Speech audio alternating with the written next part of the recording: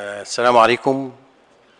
بسم الله الرحمن الرحيم والصلاة والسلام على أشرف الأنبياء والمرسلين سيدنا محمد وعلى آله وصحبه أجمعين. آه، الحقيقة ال- الكلام اللي أنا هقوله ده موقفي في ضوء في ضوء اللي أنا شفته امبارح في الورشة ورشة العمل وفي ضوء برضو ما عرضت جزء نسبيا صغير من المحاضرة ووجدت إن المعلومات الأساسية المتعلقة باضطراب آه، فرط الحركة وتشتت الانتباه آه، تكاد تكون عند البعض مننا يعني آه، مش مكتملة. عشان كده أنا هتكلم في حوالي خمس نقاط أساسية أنا شايف إن من الضروري إن إحنا نعرفها. النقطة الأولانية إيه هو اضطراب الانتباه أو تعريف اضطراب الانتباه مع فرط الحركة وتشتت الانتباه؟ وما أثر التعريف ده محددات التعريف على التشخيص. الحاجة التانية هتكلم عن محددات اضطراب الانتباه. إزاي نعرف إن الطفل ده أو الولد ده عنده اضطراب انتباه مع فرط حركة وتشتت الانتباه؟ الحاجة الثالثة أنواع اضطراب الانتباه. إيه هي؟ لأن اضطراب الانتباه آه هي جملة أعراض بس في ثلاث أنماط. يعني في النمط المشترك وفي نمط زي ما هنتكلم دلوقتي.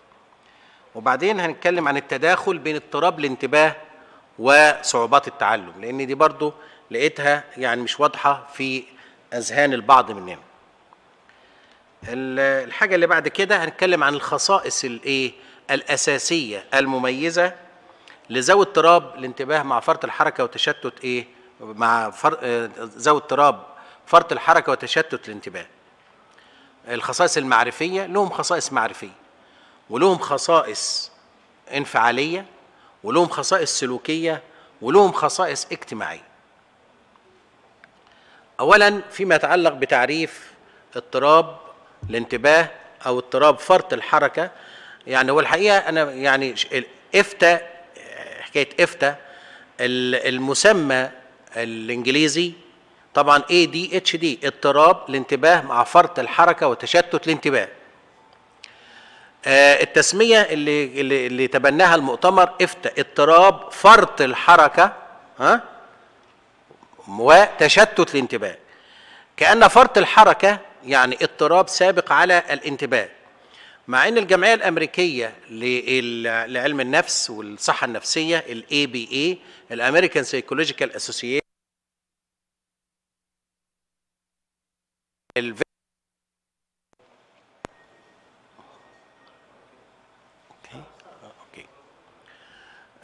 كان لغاية سنة 94 كان الـ ADD نمط والاي دي والاتش دي نمط. فلما الجمعية الأمريكية للصحة النفسية جمعت بينهم ابتداء من الـ version الأخيرة اللي هو سنة 94 اللي هي version آه، اللي هو الطبعة الرابعة للدليل التشخيصي الإحصائي لاضطراب الانتباه مع فرط الحركة والنشاط. وسمته بقى إيه؟ AD HD AD slash وبعدين HD يعني الجمعية الأمريكية مقدمة اضطراب الانتباه على فرط الحركة. المهم ما هو تعريفنا لصعوبة الاضطراب الانتباه؟ اضطراب الانتباه خلينا نقول كده نعرف قصور مزمن.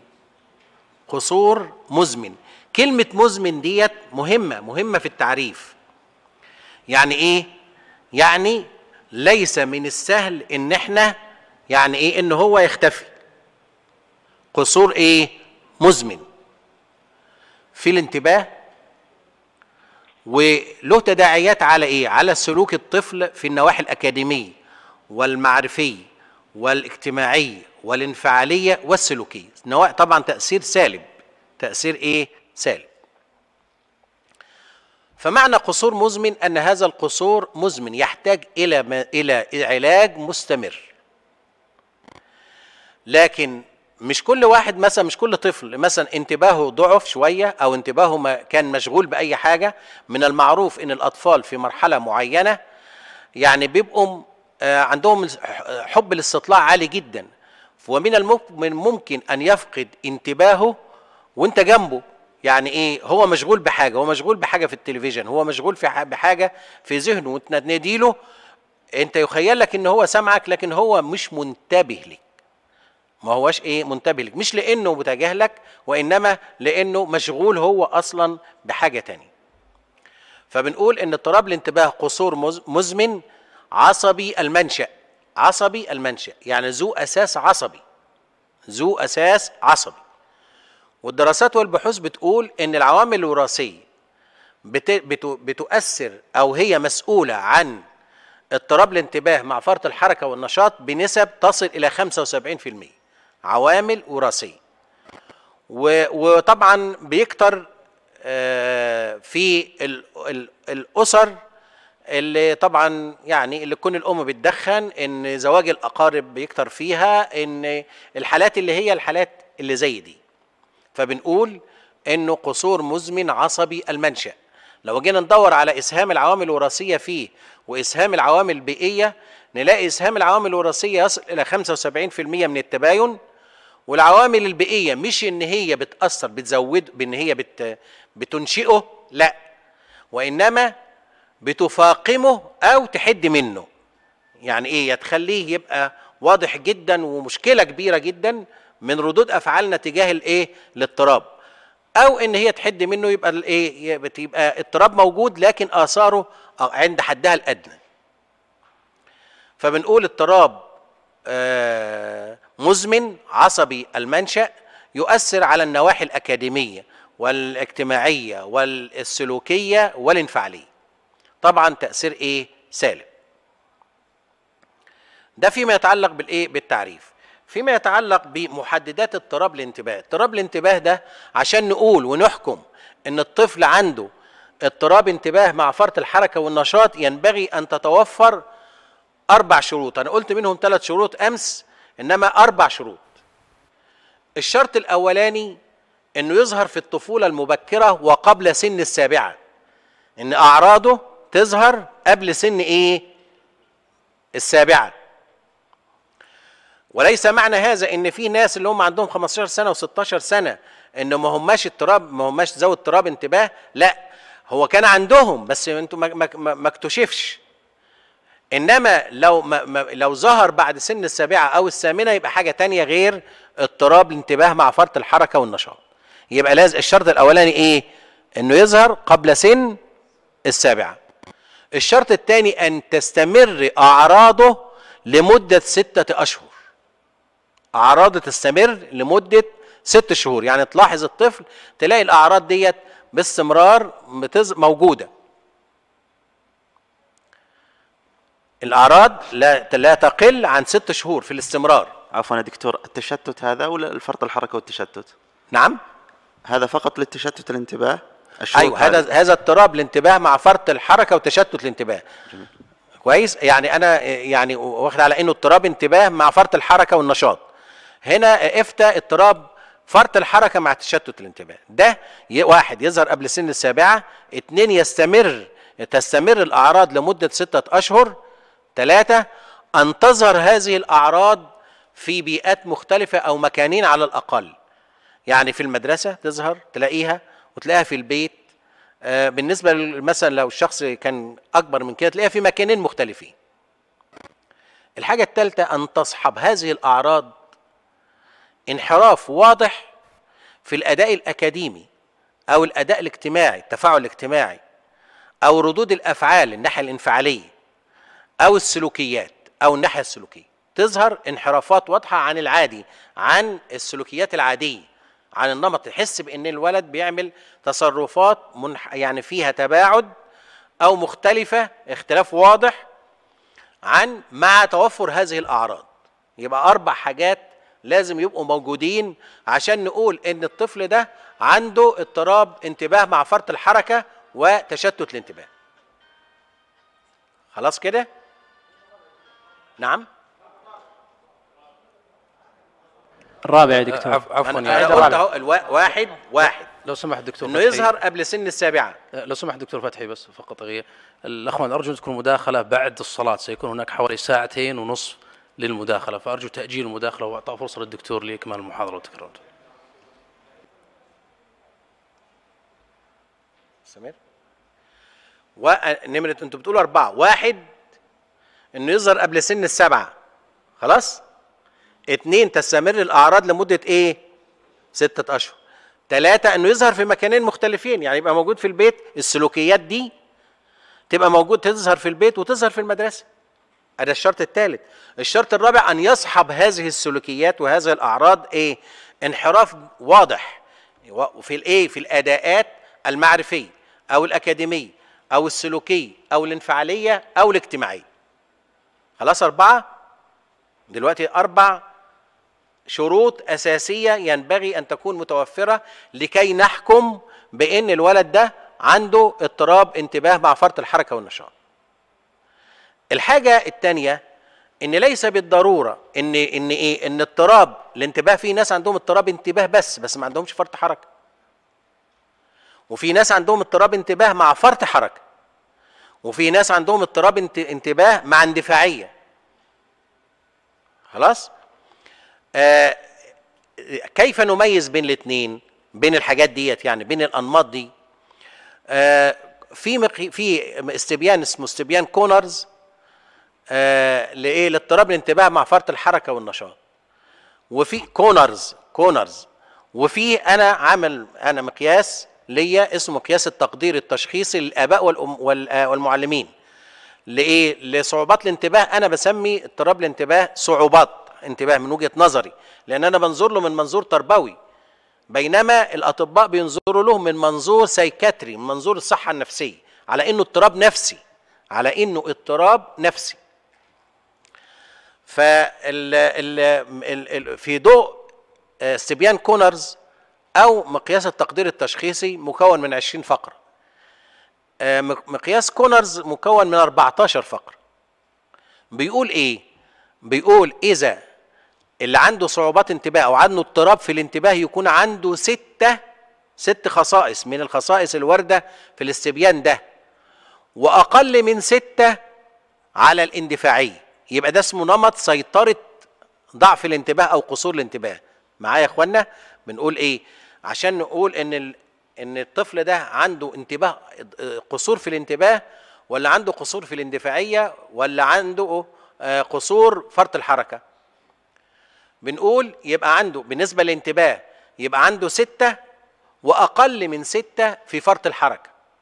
الاستبيان ده مكون من 14 فقرة. منهم آه، اللي بيقيس الانتباه ومنهم اللي بيقيس فرط الحركة ومنهم اللي بيقيس الاندفاعية معايا ال 14 فاللي اللي عنده اللي نقول عليه إن سيطرة إن عنده قصور في الانتباه يبقى عنده ستة في من قصور الانتباه وأقل من كده في في الاندفاعية. اللي عنده اندفاعية مسيطرة يبقى عنده ستة في الاندفاعية وأقل من كده في الانتباه وفرط الحركة. اللي عنده فرط الحركة مسيطرة يبقى عنده ستة من فرط الحركة وأقل من كده في الانتباه وأقل من كده فين؟ في الاندفاعية. خلاص يعني لو إحنا الاستبيان يعني موجود أنا في كتاب ليا جايبه موجود في كتاب ليا. آه، اللي أو ممكن الحصول عليه من الاي دي اتش دي جروب موجود. فأنت لو أنت خدت الأب أو الأم أو المعلم واستجاب على الخصائص ديت بمنتهى الموضوعية يقدر يعرف بس بس بقول إيه في مكانين مختلفين. يعني الأب يعمل الاستبيان والمعلم يعمل الاستبيان. نشوف مدى التطابق بين الاستجابات في الحالتين.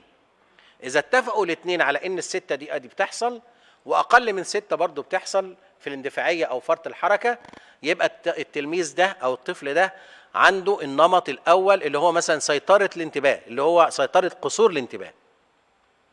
خلاص إزاي نعرف؟ في المقياس بتاعي أنا عامله من 20 فقرة. برضه بيقيس آه، الانتباه والاندفاعية وف- وفرط الحركة. أنا عامله بقى إنه يبقى عنده إيه؟ عنده قصور خفيف أو قصور شديد أو قصور متوسط. لو جاب درجة مع المقياس له معايير. لو جاب درجة معينة يبقى عنده قصور خفيف. درجة أكبر يبقى عنده قصور متوسط. درجة أكبر يبقى عنده قصور إيه؟ شديد. وفي نفس الوقت برضو يميز بين الايه فرط الحركة والقصور الانتباه والاندفاعيه خلاص هذه الأمور واضحة بالنسبة لنا؟ أوكي.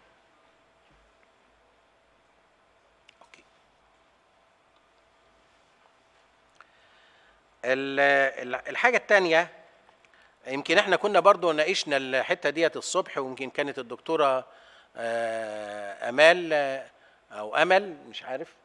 أمال أوكي. آه، كنت موجودة في الصبح؟ أوي ويمكن ردت برضو على إلى أي مدى هناك تداخل بين آه، اضطراب الانتباه مع فرط الحركة آه، مع صعوبات التعلم؟ لو جينا ندور على اولا في هم مشتركين من ثلاث نواحي. مشتركين في الأسباب الـ etiology مشتركين في الأسباب ومشتركين في العمليات الـ information processing software هنا وهنا ومشتركين في النواتج اللي هي الـ productivity اللي هو إزاي يتعلموا الـ learning rate معدل التعلم والـ productivity اللي هي الإنتاجية المعرفية بتاعتهم. فهم مشتركين في الثلاثه دول. وبما إنهم مشتركين في الأسباب والعمليات والنواتج فهم مشتركين في بينهم خصائص مشتركة في الأعراض. في الأعراض. لكن إحنا بنقول إنه اضطراب الانتباه قصور قصور مزمن عصبي المنشأ وله أساس نمائي يعني يظهر عند الطفل زي ما قلنا قبل سن السابعة. صعوبات التعلم النمائية صعوبات التعلم بتنقسم إلى نمطين كبار. صعوبات التعلم النمائية وصعوبات التعلم الاكاديميه صعوبات التعلم. النمائية ممثلة في الانتباه والإدراك والذاكرة. وصعوبات التعلم الأكاديمية ممثلة في القراءة والكتابة والرياضيات.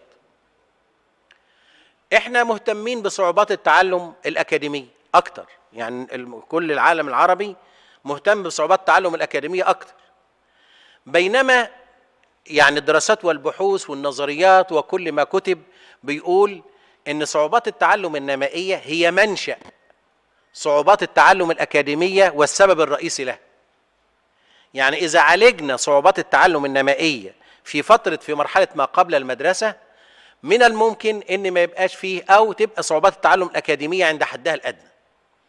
لكن إحنا مهتمين ليه بالق- بالقراءة والكتابة والرياضيات؟ ليه؟ لأن ديت الخصائص السلوكية الناشئة عنها ظاهرة واضحة. الاب الأب بينزعج لما يلاقي ابنه ما بيعرفش يقرأ وسنه مثلا بقى كذا والأم بتنزعج برضه لما الولد ما يحلش المسائل الرياضيات ولما ما يعرفش يكتب فهذه حاجات ظاهرة. بينما الأم ما بتنزعجش ولا الأب ينزعج مثلا لما يكون الولد عنده صعوبة في الإدراك البصري أو صعوبة في الإدراك السمعي أو صعوبة في الإدراك الحركي أو عنده صعوبة في الذاكرة قصيرة المدى أو عنده صعوبة في الذاكرة العاملة أو عنده ص- صعوبة في الذاكرة بعيدة المدى أو طويلة المدى. ليه؟ لأن دي حاجات مش ملموسة. فعشان كده في تداخل.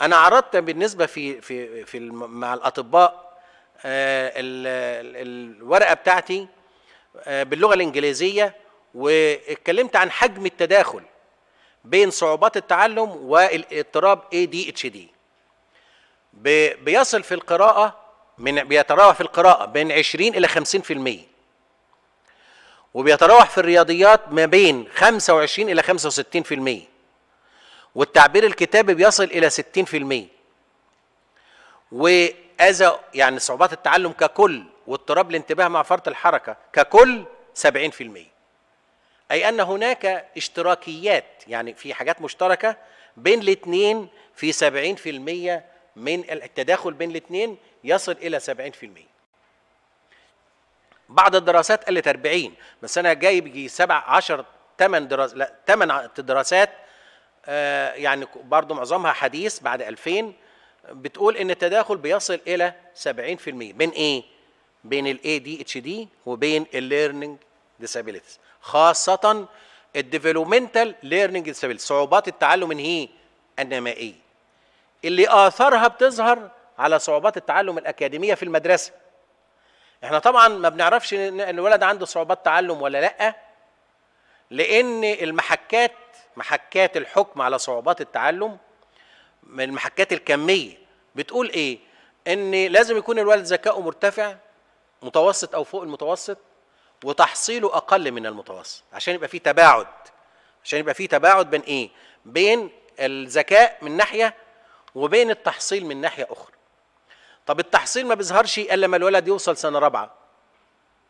ليه؟ ملوش تحصيل في أولى لسه لسه ما ما بقاش له. ما نقدرش نقول إن التحصيل بقى ستيبل مستقر. في تانية يبقى أحسن شوية. في تالتة يبقى أحسن شوية لكن إحنا عشان نشخص لازم ناخد التحصيل بتاع سنة رابعة وفي هذه الحالة ما يبقى في تباعد بقى بين الذكاء والتحصيل إذا صعوبات التعلم الأكاديمية لا يم لا يمكن الكشف عنها وتحديدها قبل التلميذ ما يوصل الصف الرابع الابتدائي عشان يبقى في تباعد إنما لو. لو استخدمنا approach جديد اسمه الاستجابة للتدخل من الممكن إحنا نعرف للطفل اللي هو الـ RTI اللي هو response to intervention كان من الممكن إن إحنا نعرف إن الطفل هيبقى عنده صعوبات تعلم ولا لا. إمتى؟ قبل المدرسة.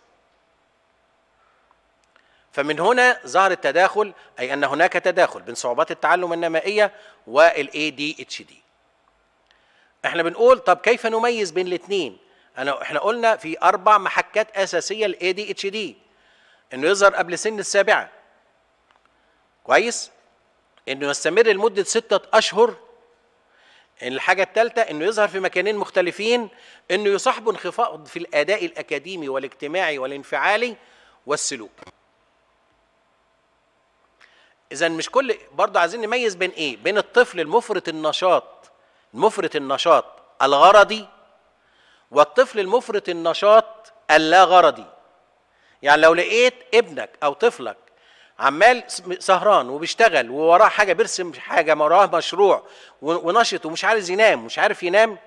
هذا نشاط غرضي. ولا يح ولا ولا يمكن إن إحنا أو والنشاط برضه لو لقيته بيلعب في الشارع بيلعب كورة يعني نشط رياضيا إلى غير ذلك. ما دام النشاط غرضي له غرض والطفل عارف إن هذا النشاط له غرض يبقى ده ما هوش ما عندوش فرط حركة. إنما إمتى نقول إن الطفل عنده فرط الحركة لما يكون النشاط اللي بيقوم به نشاط لا غرضي ملوش هدف. عمال يتنطط ويتحرك وته... وك... ومن غير من غير هدف من غير غرض. آه... لسه قدام وقت يا دكتور؟ أنت حضرتك قلت لي الدكتورة أمل جت ها؟ أمامك عشر دقائق إذا okay، رغبت. هتكلم- إذا رغبت. okay. yeah. أه هتكلم عن الخصائص المميزة لذوي اضطراب الايه الاضطراب فرط الحركة وتشتت الانتباه. أه دول لهم خصائص معرفية أكاديمية. ولهم خصائص سلوكية ولهم خصائص اجتماعية ولهم خصائص أه انفعالية. أنا هذكر ثلاثة من كل خص... من خ...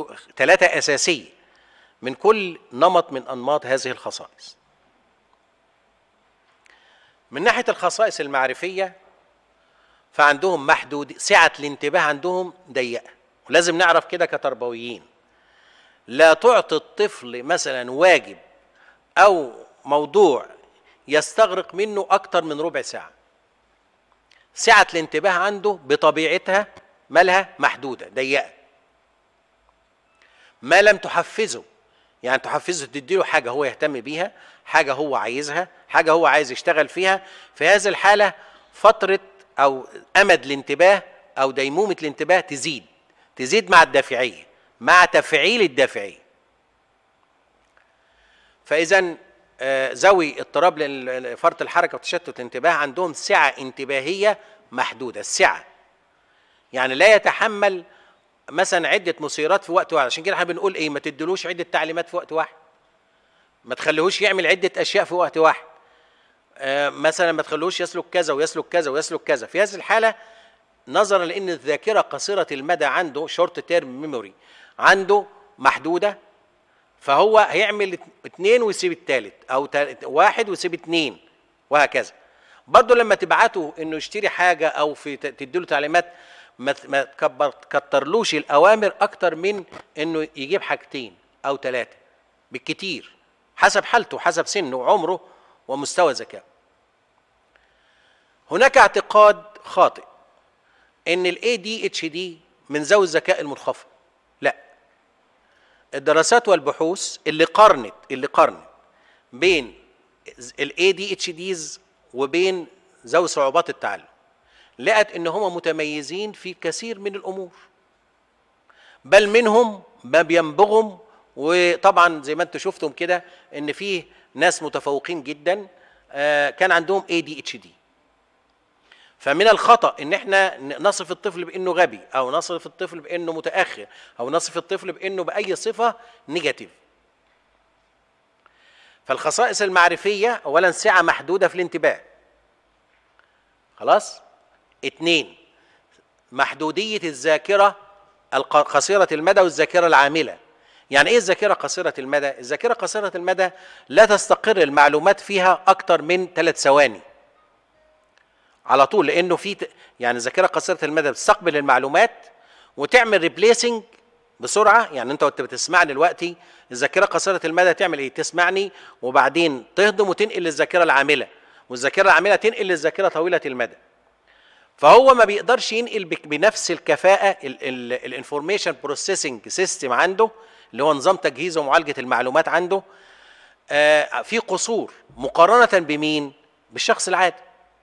فما يقدرش ينقل المعلومات بسرعة بنفس السرعة ال rate rate بتاعه معدل نقل المعلومات من الذاكرة قصيرة المدى للذاكرة العاملة أبطأ. لا هو عشان يتابعك هيروح فاقد حاجة. يعني اديت له مثلا أربع خمس معلومات وهو عشان يتابعك هيفقد اتنين أو تلاتة ويجهز اتنين. والاثنين دول يروحوا فين للذاكرة العاملة؟ ونظرا برضو لمحدودية الذاكرة العاملة عند ذوي اضطراب الانتباه مع فرط الحركة وتشتت مع مع فرط الحركة. آه، إيه اللي بيحصل برضو؟ الذاكرة العاملة بتنقل من الذاكرة العاملة للذاكرة طويلة المدى جزء من المعلومات. فنيجي ندور في الآخر إيه ال permanent information اللي استقرت في الذاكرة طويلة المدى؟ نلاقيها قليلة. فهو معذور. ولابد ان إحنا نتفهم كده. ولا وما نحاسبوش ما نحاسبوش على شيء هو ملوش ملوش دور فيه. يبقى الحاجة التانية والخاصية التانية محدودية الذاكرة information processing سوفت وير عنده ما يعني إيه ما بيشتغلش بنفس الكيفية اللي بيشتغل بها الشخص العادي أو الط- الطفل العادي. الحاجة التانية التالتة في الخصائص المعرفية قصور في الاسترجاع. قصور في الاسترجاع. قصور في الاسترجاع يعني إيه؟ ما دام ما فيش إن معايا ما دام ما فيش إن ما حصلش إن. إن يعني إيه؟ يعني ما حصلش يعني الذاكرة طويلة المدى ما خزنتش حاجة. معايا ولا إيه؟ يبقى ما فيش اوت إمتى يبقى في إن؟ لما الذاكرة طويلة المدى تحصل يبقى عندها معلومات نقدر نجيب من العاملة تجيب منها وتودي لقصيرة المدى وقصيرة المدى هي اللي تسترجع. فهو عنده صعوبة في الاسترجاع. فبرضه انت ما تحاسبوش على صعوبة الاسترجاع. وانت اديله معلومات يهضمها وبعدين اديله غيرها. يعني ما ينفعش ما ينفعش. زي ما إحنا كده مثلا بنفطر الصبح وبعدين نتغدى وبعدين نتعشى على ثلاث وجبات ها؟ لازم الوجبة تكون مقننة برضو على قد الايه على قد محدودية الذاكرة عنده من المعلومات. دي ثلاث خصائص معرفية إيه؟ أساسية. الخصائص السلوكية برضو الأساسية بالنسبة لهم عدم طبعا أنتوا عارفين الانتباه أنواع. انتباه إرادي وانتباه لا إرادي. انتباه إرادي يعني انتباه أنت لك دور فيه تقدر تنتبه. وانتباه لا إرادي. كل ما ننجح في تحويل الانتباه الإرادي للطفل إلى انتباه لا إرادي إن إحنا نشده غصب عنه يعني نخلي نجذبه كده نخليه يتابعنا. كل ما يبقى إحنا نجحنا في في التدخلات بتاعتنا. إنما كل ما نقول له اقعد بص لي واسمعني وما تتلفتش يمين وما تتلفتش شمال وأنا بقول إيه؟ ده انتباه. أنت بترغمه على الانتباه الإرادي. والانتباه الإرادي عنده محدود. يعني إن هو يقدر يضبط انتباهه ما يقدرش يضبط انتباهه. إلا فيما يهتم به هو. يعني لازم تكون المثيرات جاذبة وموتيفيتد له ترفع مستوى الدافعية عشان ينجذب لها فيقوم يتحول انتباهه من انتباه الإرادي إلى انتباه لا إرادي.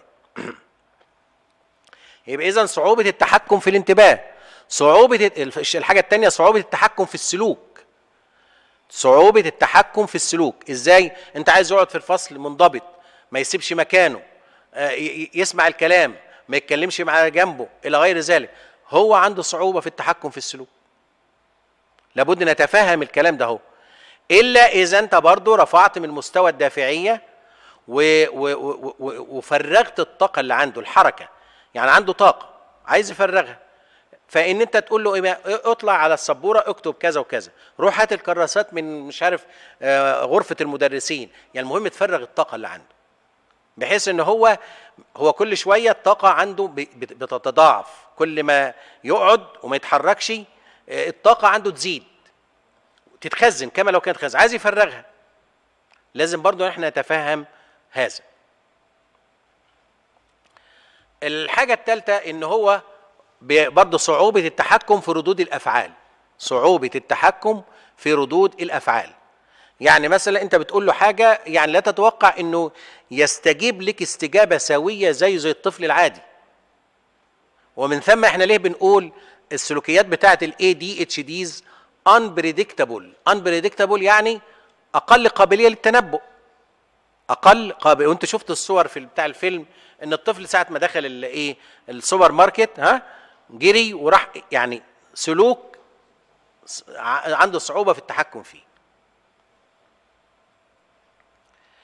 ال- الخصائص الاجتماعية صعوبة في التفاعل الاجتماعي لأنه من كثرة صعوبة في التفاعل الاجتماعي يعني لما يبقى مع الآخرين مع الأقران آه، مع المدرس مع الأب مع الأم آه، الأب والأم بيبقوا عايزين منه استجابات مهذبة استجابات زي ما هم عايزين.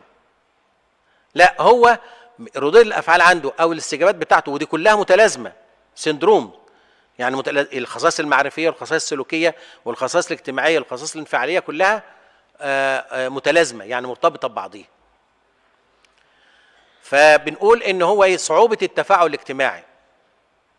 يعني يجد صعوبة في إنه يتفاعل اجتماعيا أو إنه تصدر عنه ما يسمى الاستجابات الاجتماعية المرغوبة اللي هي الديزايربل إن هو يصدر استجابات اجتماعية مرغوبة انه يبقى لطيف إنه يكلمك بشكل مهذب إنه يسلك سلوك معين إلى غير ذلك.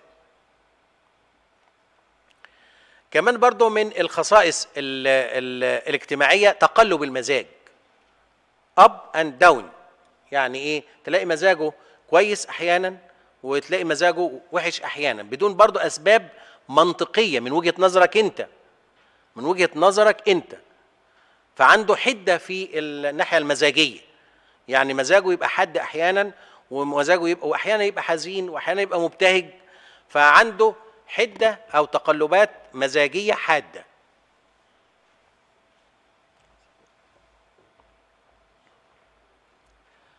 آه، فيما يتعلق بالخصائص الانفعالية زي ما قلت أنا آه، هو خصائص آه، تقلبات مزاجية حادة وإنه ردود الأفعال بتاعته غير متوقعة. و... وإنه في بالنسبة للتفاعل الاجتماعي اللي هو الخصائص الاجتماعية صعوبة التفاعل الاجتماعي إلى غير ذلك من ال- الخصائص. آه، دكتور أنا تجاوزت ولا خلاص؟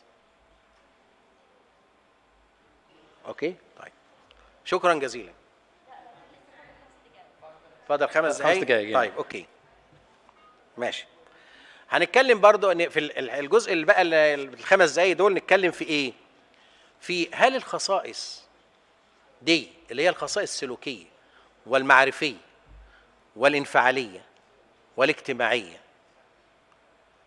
ما موقفها من تزايد العمر الزمني بالنسبة للطفل؟ الطفل كل ما يكبر كل ما يكبر لما نقارن الخصائص يعني مثلا الاندفاعية الاندفاعية وفرط الحركة بيبقوا إحنا عندنا طبعا آه، لو إحنا قسمنا مراحل الطفولة هنلاقي مرحلة الطفولة المبكرة ومرحلة الطفولة الوسطى ثم مرحلة الطفولة المتأخرة. كويس؟ مرحلة الطفولة المبكرة لغاية أما هي ما قبل خمسة يعني قبل خمسة. مرحلة الطفولة الوسطى من خمسة لثمانيه أو لتسعه البعض بيقول ثمانيه والبعض بيقول تسعة. ومرحلة الطفولة المتأخرة اللي هي من تسعة وانت طالع لغاية ما تبتدي مرحلة الإيه؟ المراهقه فرط الحركة والاندفاعية بي- بيبقى بت- بتغلب أو بتكتر أو بتبان في مرحلة الطفولة الوسطى اللي هي من خمسة لثمانيه أو لتسعة. تلاقي حركته زايدة وتلاقيه إن هو مندفع. آه، ده لو عنده لو عنده اضطراب فرط الحركة مع تشتت الانتباه يعني عنده المتلازمة كلها. نلاقي إن هو الاندفاعية واضحة وفرط الحركة واضح وتشتت الانتباه آه، برضو في هذه المرحلة بيبقى إيه؟ واضح. مع النمو مع النمو تقل حدة فرط الحركة وتقل حدة الاندفاعية لكن تبقى صعوبات الانتباه طب يبقى اضطراب الانتباه. يعني لو إحنا مثلا كنا قايسين قبل مرحلة الطفولة آه، مثلا الوسطى وكانت الخصائص نقول مثلا خمسة وسبعة مثلا وخمسة نلاقي إن فرط الحركة والاندفاعية في مرحلة الطفولة ال- ال- اللي بعد كده اللي هو الطفولة المتأخرة تقل. فرط الحركة يقل والاندفاعية تقل. لكن تشتت الانتباه يظل. إن كان وإن كان بيقل لكن بيقل بدرجة أقل. من مين؟ من فرط الحركة والإندفاعية. والاندفاعية طبعا عشان نعرف الاندفاعية وعشان نعرف طب- طبعا فرط الحركة آه، الاندفاعية إن الطف- الطفل يسلك قبل أن يفكر. يسلك قبل أن يفكر. كمان لا يقدر العواقب أو الآثار المترتبة على السلوك اللي بيسلكه. يعني من الممكن إن هو ينط من على البنش ده مثلا هنا بصرف النظر عن إنه يعني هي إيه يعني هيجرى له إيه هيحصل إيه إلى غير ذلك. وعشان كده الأطفال دول في هذه السن بيبقوا مجرحين بيبقوا مج- مجرحين. يعني لو لو انت سايب لهم ال ال يعني إن هم يلعبوا ويتنططوا ويتحركوا وكله وبعدين يفكر في السلوكيات الغريبة الغريبة اللي غيره ما بيعملهاش هو يعملها. فدايما بيبقى مجرح دايما بيبقى متعور آه، عايز مراقبة باستمرار في هذه المرحلة اللي هي مرحلة من الطف- الطفولة الوسطى اللي هي من خمسة لغاية ثمانيه أو من ستة لغاية ثمانيه أو تسعة. فده معدل يعني تلاقي الطفل مثلا على سبيل المثال أما يجي يعبر الشارع ما يبصش الشارع فيه سيارات ولا ما ولا ما ولا في سيارات جاية من هنا ولا في سيارات جاية من هنا ولا لأ. يعبر الشارع وخلاص. آه، في الحتة دي ليه؟ لأنه ما بيقدرش آه، لأن عشان أعبر الشارع وأبص يمين وأبص شمال وأشوف الإشارة مفتوحة دي عملية مركبة عملية مركبة. مركبة إزاي؟ يعني محتاجة تآزر عدة يعني آه، عدة أنشطة عقلية معرفية في وقت واحد. هو بيهمل بعض الحاجات ديت ويعبر الشارع. فده معنى الاندفاعين. الطفل يندفع قبل أن ي- إيه آه، قبل أن يفكر. فيما يتعلق بفرط الحركة إن الطفل بقى زي ما اتكلمت في الحتة ديت وقلت إن إيه إذا كان نشاط الطفل نشاط هادف فيبقى ده ما عندوش فرط الحركة. ما عندوش دكتور- فرط حركة. دكتور إنما- فتحي. إنما إذا كان نشاطه غير هادف بتحرك وخلاص يبقى في هذه الحالة نشوف الخصائص الأخرى عشان نحكم عليه إنه آه إنه عنده فرط حركة ولا لأ. دكتور فتحي. في تغيرات؟ آه، انتهى انتهى الوقت. حاضر. أوكي نكتفي بهذا القدر وشكرا جزيلا.